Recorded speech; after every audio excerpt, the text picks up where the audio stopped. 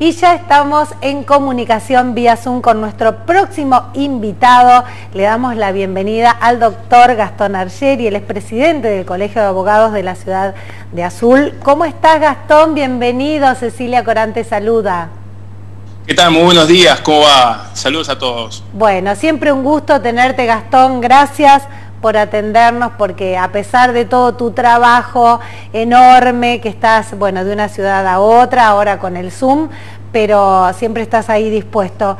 Y hay muchos temas, pero hoy queríamos em, prestar atención al tema de las obras sociales, porque en estos días y sobre todo en esta cuarentena, en esta pandemia, hemos recibido muchas quejas eh, de no atención de obras sociales, de obras sociales que están restringidas, otras directamente cortadas, si están funcionando, bueno, para eh, los chicos con discapacidad lo que se entrega es ínfimo.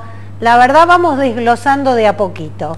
Bien, bien. En primer lugar, después de marzo, que nos agarró toda la cuarentena, es la primera vez que vuelvo a Azul. Ahora estoy en estos momentos en el Colegio de Abogados, así que estoy, por eso ven acá atrás, estoy recién retomando todo virtual, pero ahora es un poco más presencial. Bueno, vos fuiste pionero en lo virtual, fuiste pionero cuando todavía no había cuarentena, vos luchabas y luchabas para, para la virtualidad y lo digital y no sé. Tal cual. Ah, ah, pero, pero, pero lo cara a cara es necesario a veces, cara a cara también es un poco necesario. Pero no, pero sí, sí, como bien decís vos, a ver, más en este marco de cuarentena, la pandemia y todo lo que tiene que ver con la salud, que es un derecho esencial, lo importante de esto es que la gente sepa que puede reclamar a su obra social cuando no presta su servicio como corresponde. En este sentido, cuando se tarda mucho en una autorización, vieron que el médico le da una orden médica y no tienen respuesta de, la de esa autorización para poder hacer el, tratamiento, o ir al médico, o hacer un estudio. Frente a cualquier obra social o prepaga, ya sea pública o privada, hay que entender, hoy escuchaba en la mañana que había mucha gente que se quejaba con IOMA, el funcionamiento de IOMA, que hay mucho reclamo y seguramente recibís también voces y muchos mensajes. Ahí, en, en IOMA, ¿qué se hace cuando, eh, no sé, de pronto mm, los ginecólogos se ponen de acuerdo y dicen no atendemos más porque no nos pagan, los traumatólogos igual, los anestesistas. ¿Qué hace uno como, eh, bueno, aportante? como usuario, como usuario consumidor de la obra social, como uno aporta y mucho. A ver, en cuanto a lo macro, que son políticas, eso porque dicen, vos me decís, el gremio de tal profesionales no atiende más, por eso eso es algo más macro. Sí me parece darle una herramienta básica a la gente que es cuando yo tengo una orden médica, una orden médica y que me otorga el médico, yo voy a la obra social y la entrego, si van a entregar lo original, si van a entregar lo original, háganse una fotocopia y que les pongan un sello y la fecha de cuando se lo recibieron. Porque eso te queda una constancia de cuando vos lo presentaste para posibles reclamos, ¿me explico? eso es importante. Porque la gente entrega su original y después viene a ver al abogado para que le reclame y le dicen, bueno, y la constancia de cuando presentó, no, yo dejé todo en la, obra social, en la prepaga, y no me quedé con nada. Bien, me todo gustó ese Entrega, todo lo que uno entregue, nos quedamos con una fotocopia. Y, con, y a esa fotocopia, quien recepciona los originales debe ponerle el sello, fecha, quién recibió, ¿me explico? Sí. Entonces ahí uno queda la constancia y empieza a contar los plazos.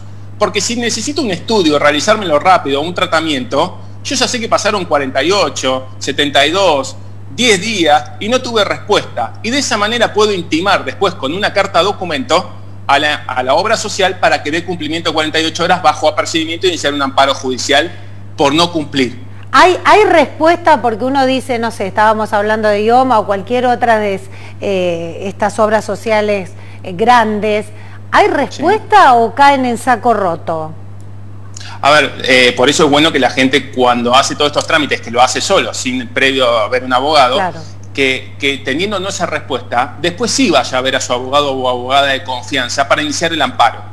Hay una previa intimación porque hay que generar la negativa en esto de que el incumplimiento o no la prestación del servicio de su forma integral y, puede, y puede iniciar el amparo. Y ese amparo, esa acción judicial, a ver, tiene una primera etapa que es una medida cautelar, que generalmente si el derecho está, es viable, se lo otorgan y después sigue tramitando la cuestión de fondo. Pero la gente a veces desconoce qué es lo que realmente puede reclamar. esta cuestión de decir, la obra social no me presta el servicio que necesitaría o no me autoriza. Y pasan los días y los meses, y la verdad que hay que entender que estas obras sociales, las prepagas, ya sea privadas o que fuera pública, a ver, a veces el derecho a la salud no pasa a ser el primer derecho a garantizar. Entonces, por eso ahí es donde está el rol importante de, los profesionales del derecho que podemos acompañarnos en estos reclamos. Claro, que, esté entendido y sino que te derive a alguien que entiende, porque a ver, en la abogacía también hay como muchas ramas y especializaciones. Bueno, me gustó esto de guardar una fotocopia sellada. ¿Qué pasa si no me atienden? Porque ahora hay muchas atenciones virtuales. Guardo el mail, guardo toda la... no borro nada. No, los mails, todo eso sirve, sirve realmente la constancia, que a veces no lo recepcionan y no te dan respuesta, es una realidad. También, a ver, el uso de las cartas documentos en tema de salud también es muy eficiente, ¿no? A ver, también tiene que acá uno articular entre el médico o la médica, el paciente, el usuario, y en el caso de tener que ir a una vía judicial, reclamar con el abogado o abogada que corresponda. En este sentido me parece importante. Bien. Em, ¿Qué pasa? ¿Es legal cuando uno va a un médico que tiene una obra social que te cobren un coseguro? Te voy, te voy preguntando, Gastón, cosas que nos van llegando, ¿no? Que nos, han venido preguntando. Dicen, me cobran el coseguro, que después cuando voy a la obra social me dicen, no, no te tenían que cobrar. Pero por las dudas, bueno, vos estás ahí, ¿qué vas a hacer? ¿Lo pagás? Tal cual, porque cuando está la salud en juego lo único que importa es, tener salud, eh, es la realidad. Porque después te tienen que atender. también, también. Pero, pero a ver, eh, cada profesional tiene su, a ver, tarifa también su, cuestión presupuestaria, ¿no? Su labor y su profesión, ¿no? Eh, es lo mismo que los profesionales en cualquier, en cualquier ciencia. Sí me parece que una, si un profesional médico no está adherido a una obra social, tendrá que analizarse cuál es la cobertura que realmente garantiza a, esa, a, esa, a ese grupo de profesionales de la medicina. En ese sentido, si tiene un reintegro eh, total, si tiene un, eh, un, bono que pagar un plus o si realmente el 100% es de cobertura. Eso depende de cada gremio donde realmente haya convenido con esa obra social. Vos me decís que después un médico cobra por afuera otra cuestión, a ver, uno no va a desconocer la realidad, pero pasa. Bien, eh, otro tema es el tema de los hisopados. Viste que hay toda una, una discusión, que algunas obras sociales lo cubren, que otras no, que son caros, que son onerosos, eh, de pronto empiezan a circular, si tal obra social te cubre el hisopado, ¿deberían cubrirlo en el medio de una pandemia? no sé, en general, las obras A ver, vos me, vos me, preguntás, en el marco de una pandemia, yo te puedo dar mi, opinión personal. Sí, porque está, a ver, la salud es algo esencial en esta situación, ¿no? Hay una realidad, todos tenemos diferentes obras sociales y algunas personas tampoco tienen obras sociales, ¿no? En ese sentido.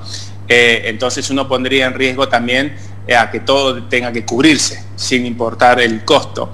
Vos, eh, seguramente una persona paga diferente de obra social que la mía, hay gente que paga más que lo que pago yo, hay gente que paga menos de lo que pago yo, entonces depende de un montón de factores a la hora de la cobertura de un hisopado. Sí hay que tener en cuenta que generalmente estos conflictos se generan en las cuestiones laborales, en los espacios laborales, ¿no? Entonces la RT estaría cubriendo hisopado frente a cuestiones de ah, COVID y dar esos casos.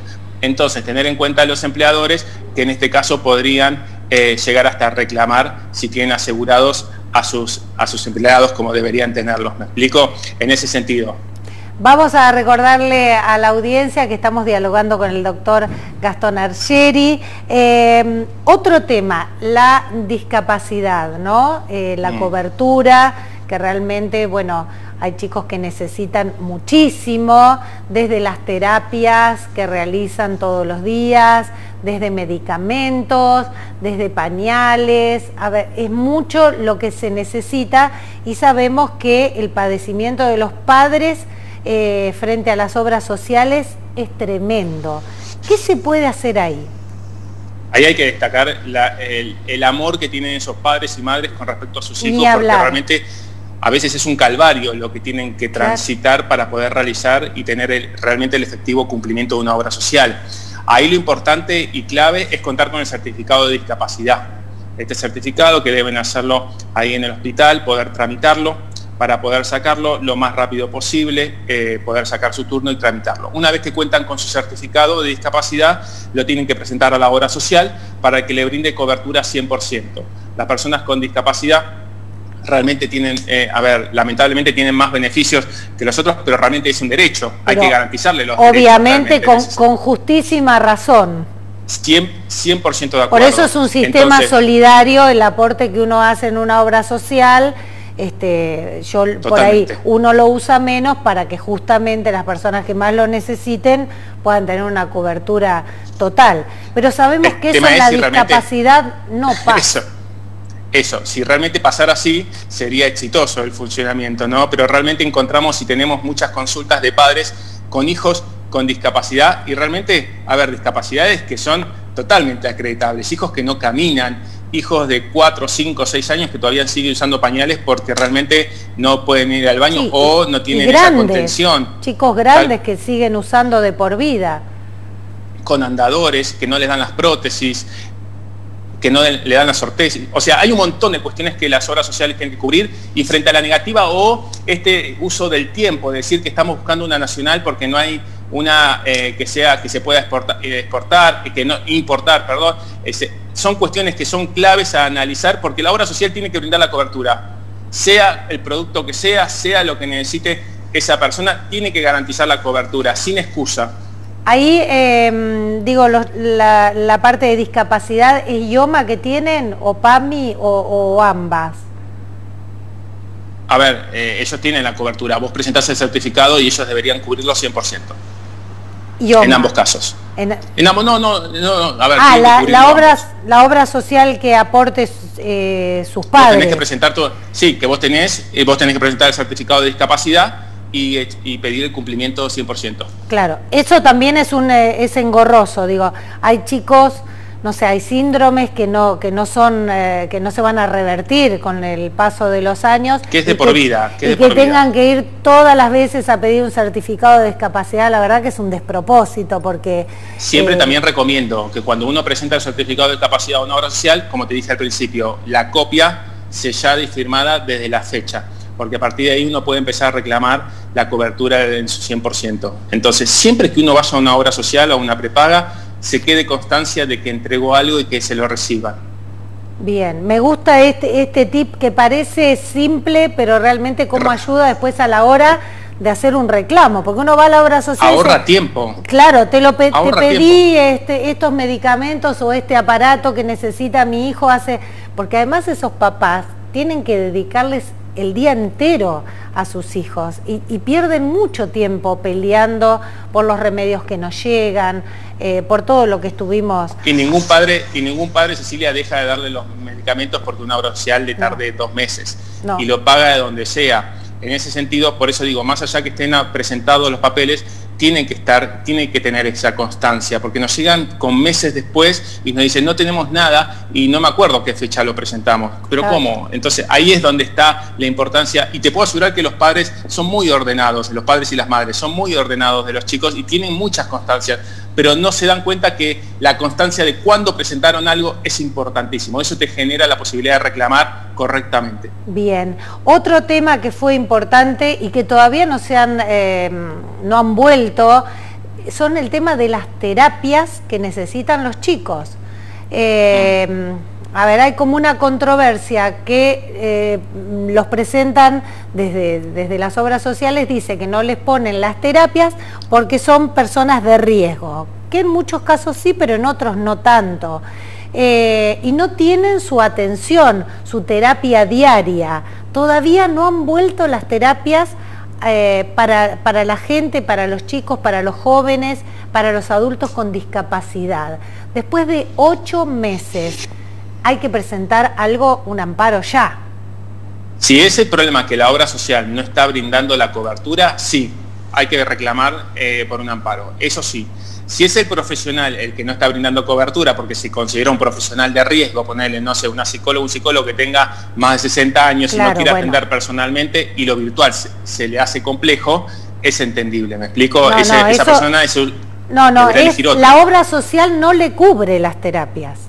Bien, a ver, un adolescente, un joven no, es, no está categorizado como persona de riesgo, como, a ver, sí está categorizado como una persona que puede transmitir rápidamente el virus y ser asintomático, pero podría ser terapia. Uno conoce muchos chicos, muchos niños, niñas, adolescentes que están haciendo terapia, tratamiento de forma virtual con sus psicólogos, psicólogas. Entonces, en ese sentido, que las obras sociales cubren. Cuando una obra social no te cubra el tratamiento psicológico por algún fundamento que no tenga tanta explicación y ahonde mucho, sí hay que reclamar para que brinde la cobertura. Bien, otro, te voy haciendo un picadito porque siempre tiene, todas las, respuestas, porque bueno, em, todo esto que te voy contando son de notas que hemos hecho de papás desesperados que realmente ya no saben a, dónde recurrir. Em, se corta la obra social, ¿no? Mm. Justo tengo que ir eh, a, no sé, a tener a mi hijo o tengo que realizarme una operación, estuve pagando durante 30 años y el único momento que la necesito, eh, la obra social cortada. Cuando se restablece, yo puedo reclamar por todo ese servicio que me realizaron cuando la obra estaba cortada por, generalmente por falta de pago, eh, ¿Puedo guardando todos estos comprobantes sellados, autorizados y después ir y pedir un reintegro? A ver, acá es, en principio yo tengo que tener la, obra social paga porque yo como consumidor, como usuario, firmé un montón de formularios. No, no, yo sí la tengo paga. Eh, la obra social no le paga al prestador, entonces por eso siempre la cortan por esa situación no sé. Ah, el que profesional la corte, que no use más el profesional la obra social. No, viste que vos, no sé, te vas a, vas a operar, te no, yo más está cortado, así que me tenés que, te va a salir y te hacen un presupuesto y te, dicen, bueno, la anestesia tanto, el médico tanto, eh, y, y vos tenés que pagar algo que te iba a cubrir la obra social. Sí, yo solo tengo que reclamar directamente a la obra social, totalmente, totalmente. Previo, previo, intimar a la obra social, ¿me explico? No consentir y aceptar que tal obra social o idioma o lo que fuera está cortada, ¿me explico? Yo como usuario, consumidor o paciente no tengo que dar por hecho que lo que el profesional me dice, no, está cortado acá, no, porque está con una demora de seis meses que no paga. No es culpa ella del usuario de la obra social. Claro. ¿Me explico? Es responsabilidad de la obra social o la prepaga. Entonces, en ese sentido, yo tengo que intimar a que dé cumplimiento rápido para esta autorización y que y que, y que, a ver, me lo autorice el tratamiento para después hacerlo responsable a, obra social para que pague. O sea que antes de ir a la intervención, por ejemplo, como pusimos ese ejemplo, yo tengo que mandarle una carta de documento intimando a la obra social a que se haga cargo de, eh, eso. Que se haga cargo bajo, bajo percibimiento de que si yo pagara, ellos me lo van a tener que reintegrar, porque yo como usuario, consumidor, estoy pagando correctamente, a mí me descuentan del recibo de sueldo la obra social, ¿Qué pago? Pero que no me brindas la cobertura, que sí tengo en el plan de cobertura. Bueno, ahí sí yo lo intimo que aunque yo pague, se lo voy a poder cobrar a ellos. Ay, Gastón, te quiero tener de acá en el programa, porque siempre viene bien tener un abogado para consultar. en, Tandil tenemos, muy buenos abogados y abogadas que trabajan. Claro, bueno, no, yo te digo, es importante que, en, el, en el programa como asesor, ¿Viste? voy, a estar, voy, a estar, pero vamos a estar, vamos a estar, se va me, a dar. Me encanta, porque bueno, hay tantas cosas, y te voy preguntando cosas que, nos pasan en la diaria y que nos pasan a todos. ¿eh? Mira, hay temas que son desde esto, derecho a la salud, y uno de los temas que yo hablaba con uno de los chicos productores, que son que mucha gente desconoce que puede reclamar en cobertura. Y uno de los temas principales que también a muchas personas les preocupa son las técnicas de reproducción humana asistida. ¿Cuánto te tiene que cubrir o no la obra social cuando tenemos leyes nacionales que realmente eh, obligan a las obras sociales a cubrir esos tratamientos también de, de técnicas de reproducción humana? Entonces creo que de eso, la salud, la gente tiene que conocer cómo tramitar un, a ver, sus propios trámites, sus propios pedidos frente a las obras sociales, sabiendo y conociendo sus derechos. Sí, eso, eso está buenísimo, porque después en el momento que te pasa, a ver, yo me quebré y fui rápido, fui con el carnecito y después, viste, no, no, no cubre nada. Eh, ¿Y uno qué va a hacer? En el momento ya está, no, voy a poner a, intimar a la obra social porque estás ahí en ese momento. Eh, pasan también e, estas situaciones pero que la gente sepa que puede, si uno tiene la obra social en, condiciones, está pago, lo que fuera, puede reclamarle tranquilamente eh, la no cobertura que no le dieron, ¿me explico? Porque tuvo que pagar por algo por fuera. El tema es cuando la gente confunde que paga algo y sí la obra social lo tiene que eh, reintegrárselo y por ahí no era algo de cobertura porque realmente la obra social está cubriendo esto que hablamos al principio. Por fuera se pretende cobrar algo que después te dice, no, se paga hasta acá y el convenio con, este, con estos médicos es de cubrir determinado monto, porque las obras sociales son las que establecen también con los gremios médicos, eh, los círculos médicos, hasta cuándo cubren. Bien, en valores. Eh, otro tema nos queda ay, ya no nos queda tiempo, pero eh, lo vamos a dejar para otro día, porque es el tema de, bueno, la inseminación, el tema de la fertilidad. Eh, que hay mucho para, para hablar y para tratar, muchas parejas que quieren tener, eh, tener un hijo y bueno, algunas obras sociales lo cubren, otras no, hasta dónde el tratamiento y hasta dónde uno, sabiendo que la obra social lo cubre, puede este, en ese momento que debería ser todo de, buscar, del camino, de, centrarse en lo que uno quiere, tiene que estar peleando y luchando con los papeles, ¿no? Esto tiene que ver con un proyecto de vida. Mucha gente también joven que quiere realizarse profesionalmente y quiere mantener, conservar su material genético y a veces también está solo o sola en ese sentido. Entonces quiere conservar su, óvulo, su esperma y poder desarrollarse profesionalmente. Bueno, eso es un tema para hablar. ¿Hasta dónde ah, tiene que cubrir? Eso también, ¿Eso también te lo pueden cubrir las obras sociales? Tiene, sí, si uno tiene obra social podría crioconservar su material genético como así los tratamientos. Claro, Está todo normalizado. hoy ha cambiado mucho eso también. Hay muchos que quieren, no sé, recorrer el mundo, conocer, estudiar, eh, realizarse profesionalmente, claro. Crecer, y, y después, bueno, las mujeres guardar óvulos, eh, que son, somos las mujeres este, quienes tenemos una, una vida este, más corta en cuanto, en cuanto a lo genético de, poder procrear, eh, claro, saber porque realmente pagarlo es un poco oneroso, no es para cualquiera. Todo, lo que tiene que ver con estos tratamientos es costoso, entonces en ese sentido hay que saber qué pasa con lo que no está regulado, la mal llamada maternidad subrogada, la gestación por sustitución, qué pasa si mi pareja fallece y quedó el embrión o el material genético. Bueno, son muchos temas que realmente para saber y que la gente tiene que saber a la hora de tener un proyecto de vida familiar. Me encantó. Gastón, el próximo tema que vamos a tratar va a ser ese, la parte de procreación, de genética, y todo eso. Eh, por lo pronto, todos estos tips que dimos son muy prácticos, muy interesantes y recurrir a un abogado, a un abogado amigo, conocido o del colegio. De confianza, de confianza que les pueda asesorar cómo reclamar correctamente eh, el hacer valer su derecho a la salud. Es importantísimo, cómo reclamar. Sin dudas. Gastón, te agradecemos muchísimo este contacto, como siempre, aquí en Informadísimas, contacto con la radio y el canal del ECO. Un placer, saludos a toda la gente de Tandil y la zona. Gracias a vos, Cecilia, y a los chicos. El doctor Gastón Argeri, bueno, él es presidente del Colegio de Abogados de la Ciudad de Azul, con una amplia carrera, muy joven él, y bueno, que nos ha dado estos tips realmente fantásticos que nos vienen muy bien para la diaria, así que bueno, eh, próximamente lo vamos a molestar nuevamente para este, bueno, para lo que tiene que ver este, con la genética, ¿no?